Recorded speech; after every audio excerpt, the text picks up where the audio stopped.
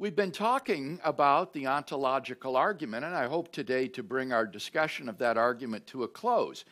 The last time we saw that the crucial premise in the argument is the first one. If you grant that premise, then the rest of the argument just follows automatically. If it's possible that a maximally great being like God exists, then it follows necessarily that God does exist uh, and therefore God exists in the actual world.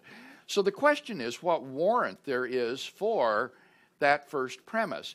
And I argued that uh, we can see that the concept of a maximally great being, that is to say, a being that is um, maximally excellent, uh, omniscient, omnipotent, morally perfect, in every possible world is a coherent concept.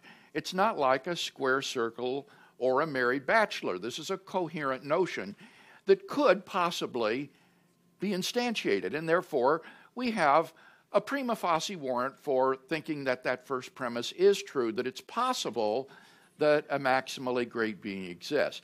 And then we looked at a number of objections to this um, premise. For example, we looked at attempts to parody the argument by saying, well, wouldn't it also lead to the existence of a maximally great pizza or the existence of a necessary lion or things of that sort, which are obviously absurd. And I think we saw clearly in each case that these were actually incoherent concepts, that the idea of a maximally great pizza or necessarily existent lion are incoherent concepts and therefore not possibly instantiated and therefore quite different from the concept of a maximally great being. Finally, we close by looking at the suggestion that maybe it's possible that a quasi maximally great being exists, a being who is um, very, very great, uh, perhaps omnipotent uh, and morally perfect, but maybe limited cognitively. Maybe he doesn't know future contingents like the God of open theism. So he's only quasi maximally excellent, uh, not uh, maximally excellent in every world. Um, and what I suggested there was that if a maximally great being exists or is possible, then it's impossible that there be a quasi maximally great being. Because as an omnipotent being, a maximally great being would have to have the ability to annihilate or create anything other than himself including a so called quasi maximally great being. So, if it's possible that maximal greatness is instantiated, it follows that it's impossible that there be a quasi maximally great being because such a being would be independent of the maximally great being, and that's impossible since he's omnipotent.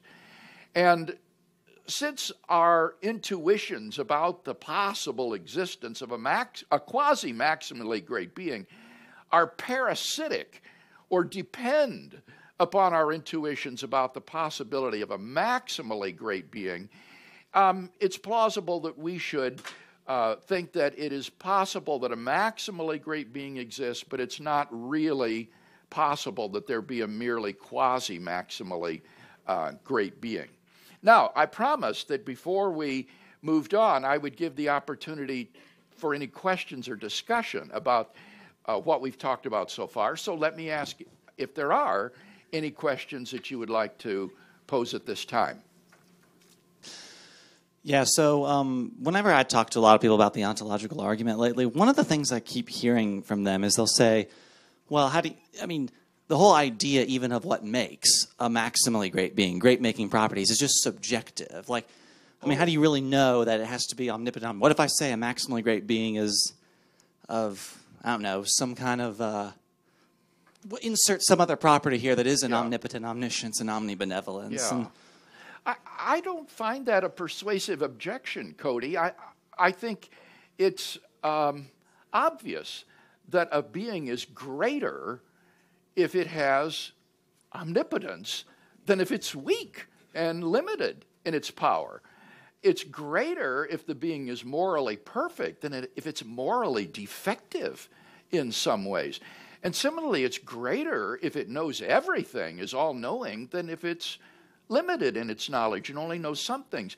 So I'm, I'm persuaded that people who take that route are just sort of looking for an escape route from the argument rather than honestly appraising whether or not it is greater to be omnipotent than limited in power, whether it's greater to be all knowing rather than limited in your knowledge, whether it's better to be morally perfect than morally defective. I, I think those are clearly great making properties. By contrast, I, in the debate I had at the University of Cambridge, someone suggested from the floor that, well, maybe this would lead to the existence of a, a, greatest, smelliest being. And as my colleague Peter Williams pointed out, clearly being smelly is not a great making property uh, in the way that these others are. So I don't think this is at all subjective. But never mind that. Suppose, suppose it were. Still, that really doesn't matter. Anybody is free to propose what he takes to be the qualities of this being and then ask, is this a coherent notion? And if it is coherent, then it's possible and therefore it exists. So, really, um, I don't think that the identification of these properties lies at the heart of the issue because you can just stipulate the properties that you want to go to make up maximal greatness and then ask, is this a coherent idea? And if it is, then the argument follows.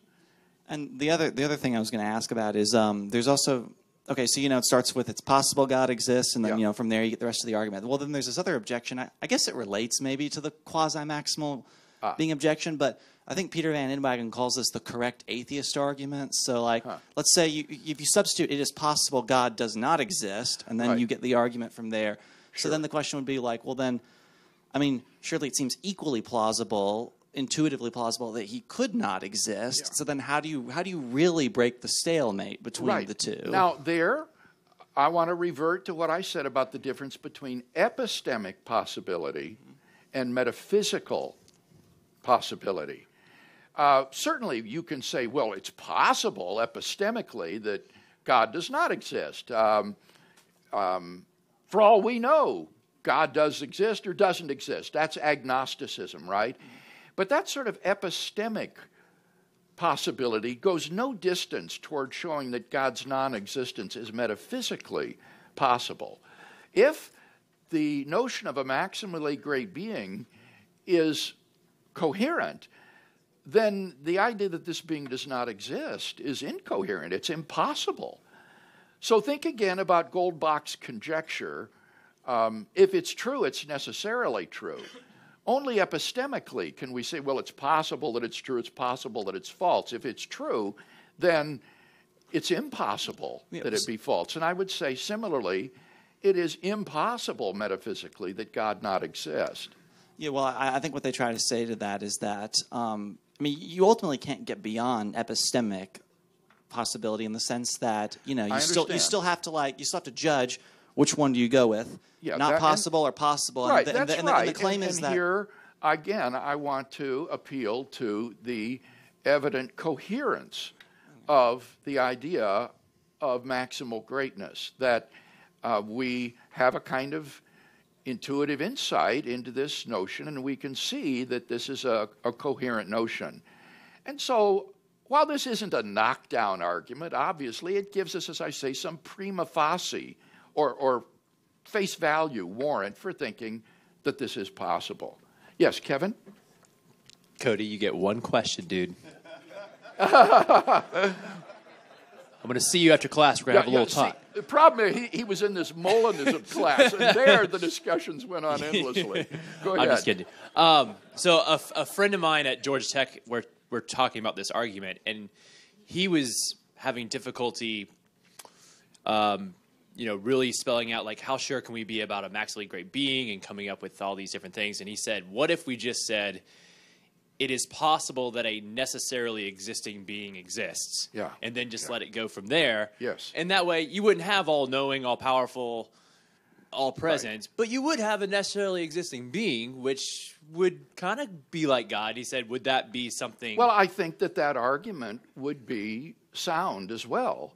Um, unfortunately, it doesn't tell you a whole lot about the nature of the necessarily existent being. Could it be matter, for example? Well, as Aristotle thought, though for Aristotle it was merely temporally necessary that matter exist. He didn't have the idea that it was logically necessary. So you would still then need to know something about the nature of this being. But you're right, that would be a step in the direction of theism to say contingent reality is not all there is. There's some necessarily existing reality. Craig. Hi. Um, in the nature of necessity, Plantinga states that this argument really doesn't prove or even establish its conclusion, Uh-huh. but he says that mainly it just establishes that it's rational to assent to the conclusion. In debate, you've used the argument as an argument for the existence of God, and so I'm wondering if you differ from Plantinga on that. I addressed that in uh, our previous lesson uh, and pointed out that in the nature of necessity, Plantinga set the bar for success in natural theology far too high, and he later retracted that statement. Here's what he later said, and I'll quote this again. I employed a traditional but wholly improper standard.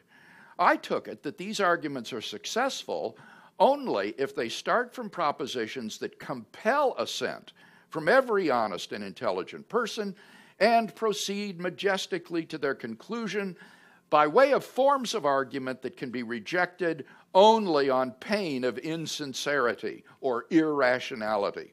Naturally enough, I joined the contemporary chorus in holding that none of the traditional arguments was successful. I failed to notice that no philosophical arguments of any consequence meet that standard. Hence, the fact that theistic arguments do not is of less significance than I thought. And then he went on also to say the ontological argument provides as good grounds for the existence of God as does any serious philosophical argument for any important philosophical conclusion. So that is quite a ringing endorsement of the argument uh, on Plantinga's part. And if you're interested in those references, I can give them to you after class. Yes. Craig. yes, Bobby. Hey there. Um, so last time you mentioned, kind of towards the end of class, these analogies that people throw out, like a maximally great island or pizza or bird. Um, and I guess I was left wanting. Can we can we not more forcefully and emphatically just reject these analogies by way of saying the second someone posits a physical analogy like an island or a bird or pizza, Yes. it's immediately not a good analogy. It's a horrible analogy because it's dependent upon space time. It's it's it's Yeah. It's a I, horrible. I, I analogy. think you're right, Bobby. Any physical analogy can It's be trash. immediately rejected because, for example, as I said, it's possible that the universe exists as a space time singularity Right. and nothing else. Exactly. Um, in which case, there couldn't be something like a bird, a lion, a pizza, or anything. So, absolutely, I think these physical analogies are really very unscientific And of course and they- can be immediately ruled out. they try to squirm out of it by saying, "Well, I'm talking about a, a non-physical island," or well, then it's Yes. not it's yes, not an island right. at that and point. then you see that, that that's so perceptive, Bob. You're absolutely right. And then you have incoherence. Because what is a non physical island? This, this happened in my debate with Lewis Wolpert in Yes, London, exactly. where um, he says, well, maybe it was a computer that made the universe. And I said, well, that's impossible. A computer is a spatiotemporal object that is material. And he says, oh, well, I'm talking about an immaterial computer uh, beyond space and time. And I said, well, that's just another name for God. Uh, so, y- you're right, you've got to have coherent concepts uh, if you're going to oppose these to God. All right, there was a question back here, on the left side of the room. Uh, sorry, pu- pure neophyte over here as far as this area is concerned. So, um, uh, just a question. It, it seems to fall down between two and three in this particular argument, as far as I can see. If, if, if it says over here that a, a maximally great being exists in some possible world, right? but it doesn't because it's it may exist in some possible world doesn't mean that that particular world actually would exist. Right, that's correct. Right. Okay. This and could then be a non-actual possible world. Yes. Okay. So then, if you move on to three, if it exists some, in some possible world, then it exists in every possible world. So if there, if that possible world didn't exist, Yes. all right, then it wouldn't exist in every possible world. Well, Is- is the that- reason that three follows is because the definition of maximal greatness is maximally excellent in every possible world. Okay. But if So- the possible world doesn't exist, then that breaks the. It essentially breaks the possibility. Of, No, because a- all you're saying there is when you say it exists in a possible world, Right. all you're saying is possibly a maximally great being exists. yes. To say it exists in a possible world is just a heuristic device, uh, an illustration of saying possibly a maximally great being exists. So the idea that is that if if it's possible that a necessary being exists, Yes. then it exists necessarily in every possible world because that's what because that's the what definition is. Yeah. Right. Yeah. It just follows from the definition of maximal greatness that if it's possible, then it, it exists in every world. I see what you're saying. Okay. All right. Yeah. Okay? Okay. Thank you. yes. Eric? Um, I guess maybe I'm just uh, not particularly sold on the definition of God as a maximally great being. Maybe this is because I'm a physicist and not a philosopher, but the term seems a bit fuzzy to me. Because it would seem to me that, say, a Calvinist could say, well, our version of God isn't maximally great because he has sovereignty but doesn't exert it. Or a Muslim could say, our version of God isn't maximally great because he's not transcendent, completely above humanity the way uh-huh. Allah would be. So it seems to me that there is this fuzziness in this definition, but maybe I, there's just. there's- Well, I think what you're saying, Eric, is that the concept of maximal greatness that Plantinga lays out is incomplete. And that's true. But Muslims, Calvinists, Arminians would all agree that the idea of God is a being which is omniscient, omniscient, uh, omniscient, omnipotent, and morally perfect. Um, and that's the bare boned defin- definition of maximal greatness. Now, maximal greatness will go far beyond that, as you say, and there there may well be dispute about the nature of the maximally great being. But pl- Plantinga's giving is some necessary conditions of maximal greatness. Um, but he's not saying that these are all of the properties. So those properties seem to be pretty clear to me. And as I said to Cody, seem to pretty clearly belong to the notion of maximal greatness and would be acknowledged by all the people that you mentioned. Stephanie? I wonder if part of the reason we're kind of stuck on this is that our Western mindset wants empirical data for everything, and this is a non-empirical argument. Right, it sure is. so I wonder if if this argument is more acceptable by people with an Eastern mindset, where where where You know, I- I- scientific data is not quite as Yeah, I don't, I, I wouldn't know. I mean, I don't have enough experience in the Orient to be able to answer that question.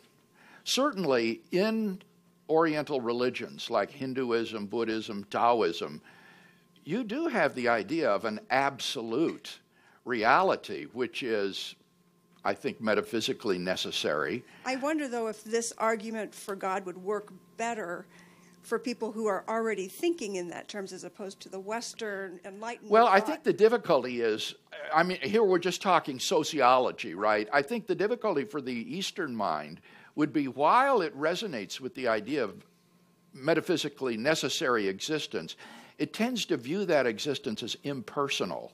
Mm-hmm. And so would be reluctant to say that this absolute reality is omniscient or morally perfect because those are attributes of a person and they don't want the metaphysical absolute to be personal.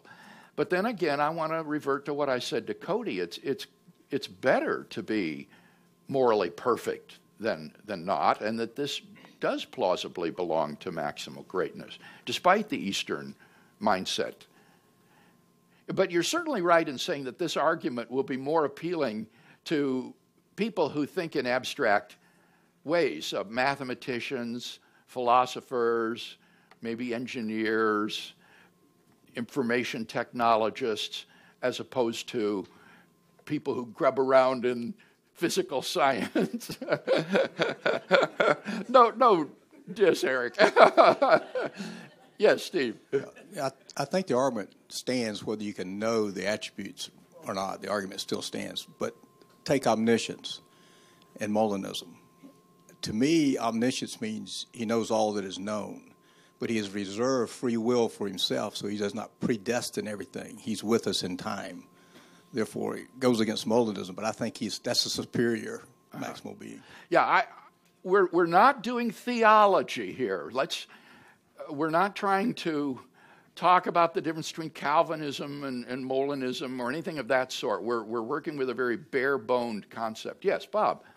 Right. Now, even though it's not compatible with my theistic beliefs, let's stipulate that worlds outside this actual world exist, okay? Because we've been over that and we have a disagreement about that. Let's stipulate they exist. Let's also stipulate that we've gotten an atheist to accept premise one, uh, saying that it's possible for a maximally great being to exist. I would find that remarkable and somewhat surprising, but that's fine. So now let's go down to number three, which I consider the most objectionable aspect, objectionable aspect of this whole argument. Uh, and uh, in fact, and it is, if a maximally great being exists in some possible world, then it exists in every possible world. Uh, I believe that statement is false on its face. I mean, I believe even cursory inspection would say that that is a would show that that's a false statement. A maximally great vehicle, uh, a being, would certainly not exist in every possible world because being maximally good, he would could exist only in a minority of worlds because he would find the others absolutely apart. Ah. All right. Um, let me just ask you a question first.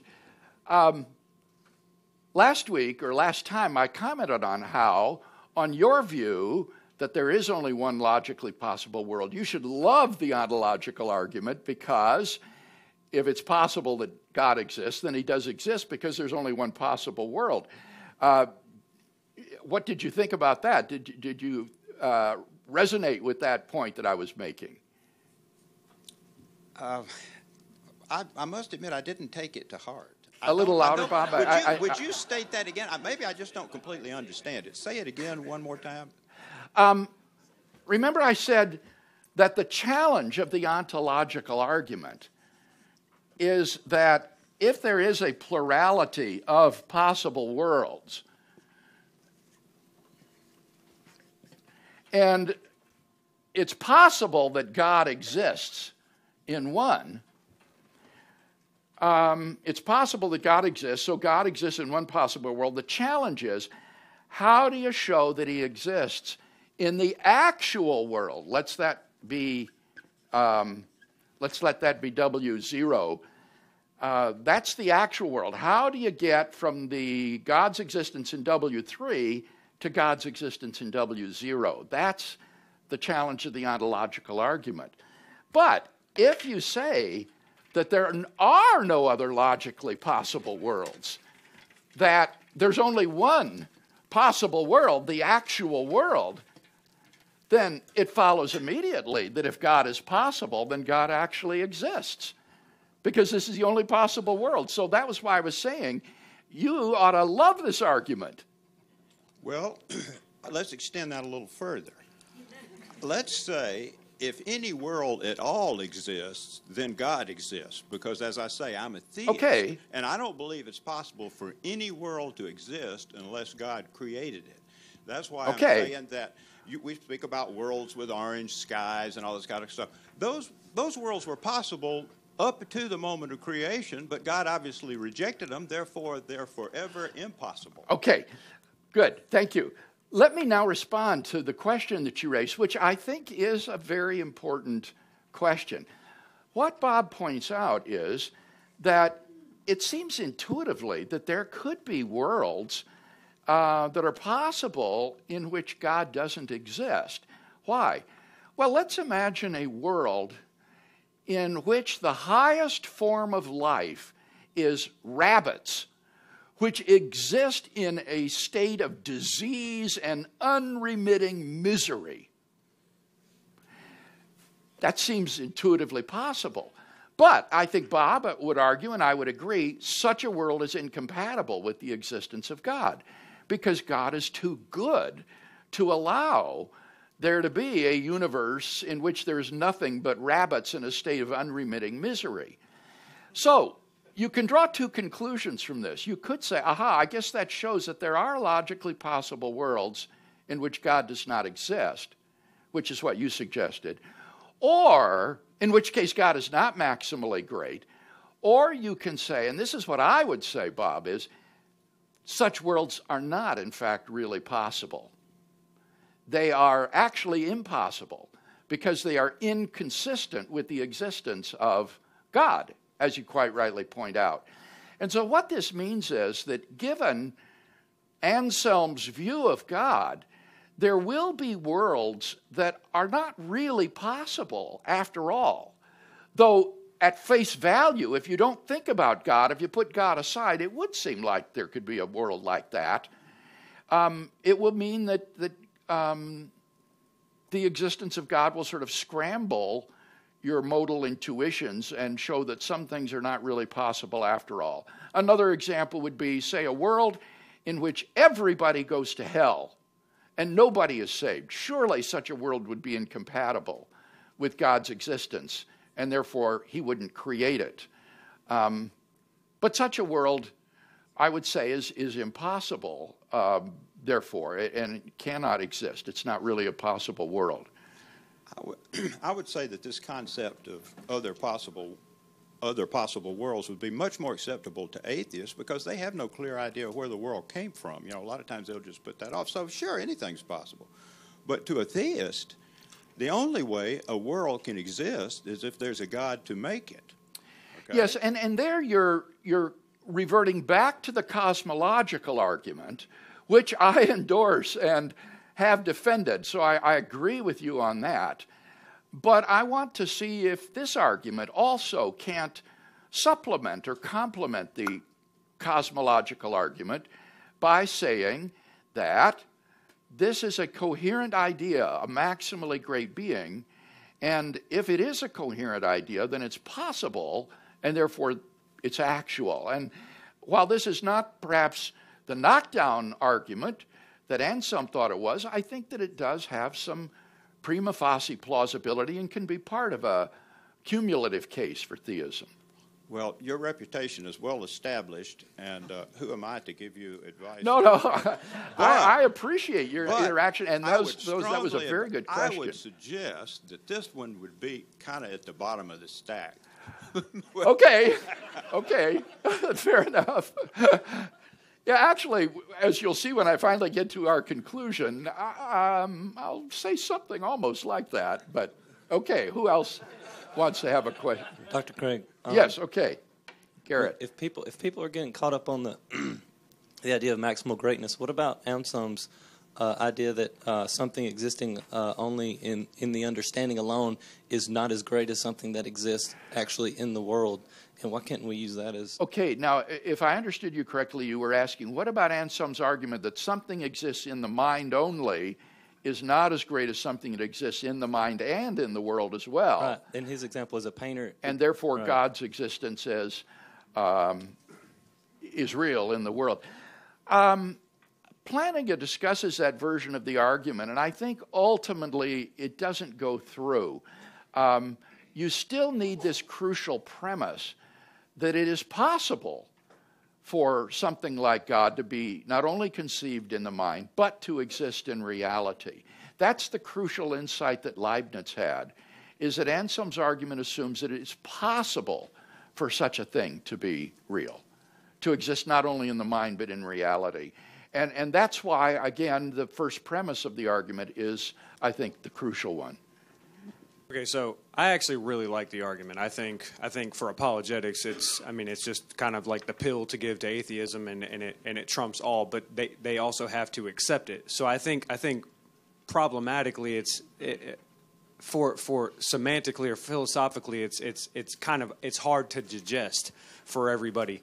Um, the problems that I'm running into is is is how to kind of like articulate answers for like Kant's uh, response to it, saying that that that existence can't be a property, or Right. Geach's uh, saying that you can't quantify identity by by words. Yes. Uh, and so and so, I think if you keep it on a philosophical level and you can answer at a philosophical level and you don't get into the cosmological and stuff like that, that's where I, like I said at the beginning, I'm having trouble keeping it when I discuss this argument at a philosophical level. Everybody wants to run into something physical or non-metaphysical or whatever, and it's and it's hard to keep their brains on something philosophical Yes, it is. It does require the ability to do abstract reasoning or philosophical reasoning. Now, with respect to the objection by the German philosopher Immanuel Kant, who was one of the most important Enlightenment critics of natural theology and theistic arguments, Plantinga's version of the argument is immune to Kant's objection, and that's why I just jumped over several centuries, you know, from Anselm to Plantinga, uh, rather than go through all of the convoluted history of the argument. What Planting, uh, Kant said is that existence is not a property.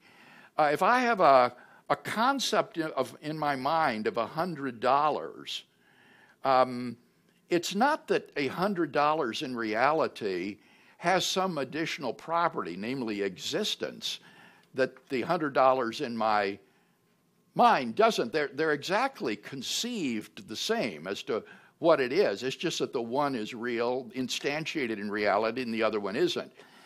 But you can argue about that. I mean, some people say, well, yes, existence is property. Uh, the, the real $100 has the property of existence, and the, the imaginary one doesn't. You could argue about that, but you can just circumvent the whole issue because with Plantinga's argument doesn't assume that existence is a property. What it says is that necessity is a property. And I think there it is pretty widely agreed that there is a distinction between something's being contingent and something's being necessary. So even if existence itself isn't a property, contingent existence or necessary existence is a property. And what Plantinga's argument says is that uh, a maximally great being is one that has maximal excellence necessarily in every possible world. And so he, he just circumvents Kant's objection. I didn't expect to have questions about Kant in our defenders class. This group is getting more and more sophisticated all the time. yes, okay. Let, Kevin. Let's, let's go back to our the suffering rabbits world. Yeah. Uh, it, it seems that uh, someone could accuse you of saying, "Well, you're you're using circular reasoning here. You're excluding Yes. the worlds in which God doesn't exist in your definition of possible worlds." Only allowing the worlds in which God does exist uh, to define which worlds are possible, and therefore, of course, the argument works. Yeah. How would you respond to that? I- think that's a powerful objection. That's a little bit similar to the objection about quasi maximal greatness. In other words, I, I can see that the idea of a world in which the highest life form is rabbits in unremitting misery is possible, but that's incompatible with the existence of God, so it's possible that God not exist. And I guess what I would say is that any intuitions that you have that such a world is possible are parasitic or depend upon the assumption that maximal greatness is impossible because you, it, it admits it's impossible to reconcile with maximal greatness. So it just pushes it back to that question again is maximal greatness possible or impossible? And, and all you've done is just shown a scenario that's incompatible with maximal greatness, but you haven't shown that maximal greatness is impossible and that therefore this world is really possible. That's what I would say. Yes, Carlos? I'm wondering if um, if the distinctions between possible worlds and conceivable worlds can make uh, Ah. the, the the issue about worlds with uh, suffering rabbits uh, helpful in that it is Yes. conceivable that God could exist in, in such worlds, but it's not possible. That Yes, this, this is a helpful point that Carlos is making, though I want to put conceivability on the side of metaphysical possibility. What I would contrast with metaphysical possibility or conceivability is imaginability. I can imagine a world in which the highest life form is rabbits in unremitting pain, but that doesn't show that a world like that is really possible. Uh, similarly, um, you can imagine that Goldbach's conjecture is false, right? That's easy to do. Uh, I can imagine the mathematicians tomorrow discovering a proof of its falsity. But if it's true, that sort of scenario is impossible. I can imagine it, but it, it can't be real. Similarly, I can imagine things popping into existence uncaused out of nothing. I can, in my mind, picture a rabbit popping into being without a cause. But that goes no distance toward showing that such a thing is metaphysically possible. So I think Carlos is right. We mustn't confuse the imaginability of such a world with its metaphysical possibility. That, that's a good point that is helpful. Yes, down front. Uh, just something I kind of picked up on in what you mentioned with Anselm and going on this rabbit possible world stuff.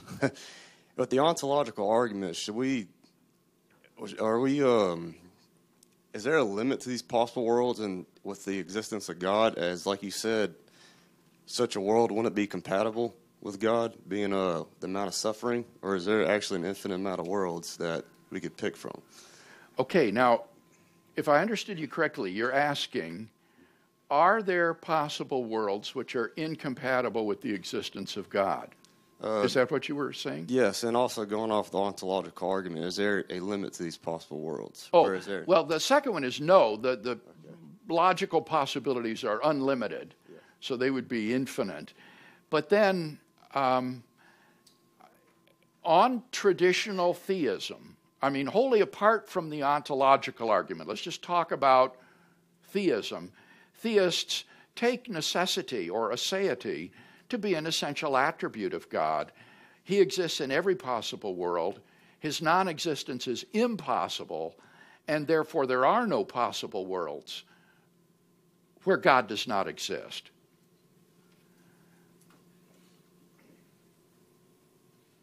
All right, I think we've got time for one or two more questions before we close. Yes, Brad.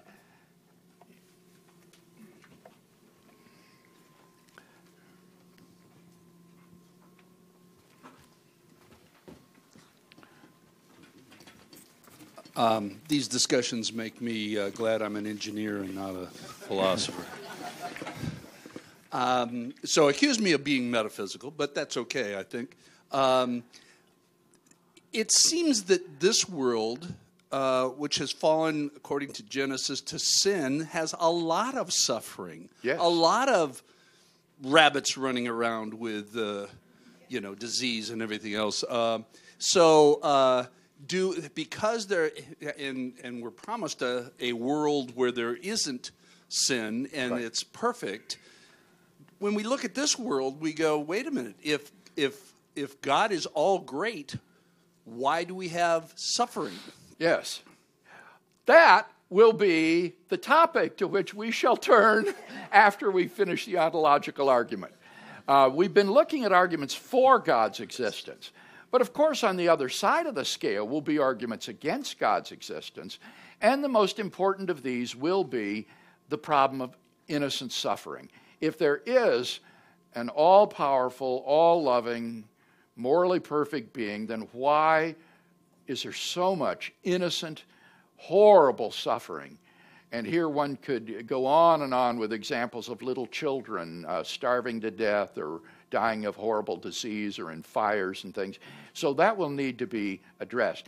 With respect, though, to my rabbit example, the key word in the rabbit example was the word unremitting, that they are in a state of unremitting suffering, that is to say, God doesn't do anything about it, like send a redeemer or something like that, I, I think that God will not allow that to be unremitting suffering. A good God will provide a solution.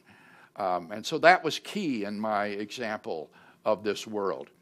Okay, well, very good discussion today. Uh, what we've been looking at up to this point in defense of the first premise of the ontological argument are a priori considerations. And you can uh, remember what that means by the word prior in it. it. It is prior to any experience you have of the world. So, as Stephanie was saying, this is an argument that doesn't appeal to empirical facts. It's, uh, it's an a priori justification for premise one. But what Plantinga suggests is that there could also be some a posteriori reasons for thinking that premise one is uh, true. And notice there we have the word posterior. Posterior means after experience. So maybe, in addition to any a priori grounds we have for affirming premise one, there might be some considerations from experience, a posteriori arguments that would support premise one as well. Um, and that would put a very different face on the ontological argument. So that's what we'll look at next time are some of these a posteriori considerations in support of the key premise. So let's bow for uh, a benediction as we close. And now may God, who is the foundation of all being and of our own existence, establish you in every good work and word during the coming week to the glory of Jesus Christ our Lord